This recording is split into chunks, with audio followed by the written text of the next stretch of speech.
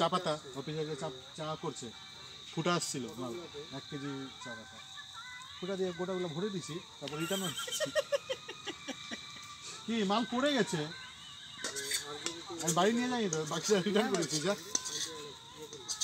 বলছি এরা যে এক্সপ্রেস যে ছেলেগুলো যে ইয়ে করছে ওই যে